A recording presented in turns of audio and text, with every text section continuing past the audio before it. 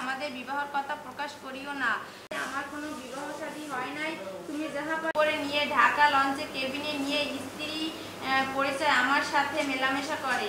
আমাকে সে চাকরি দেয় না। পরবর্তীতে আমি কথা বলি।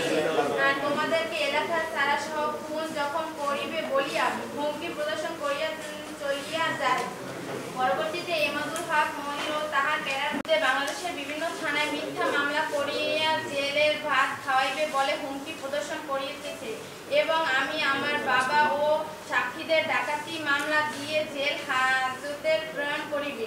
আমাকে উক্ত মোহাম্মদ এমাদুল হক মনির এবং তাহার ক্যাডার বাহিনী যে কোনো সময় আমাদের মারাত্মক ক্ষতিসহ খুন জখম করিতে পারে।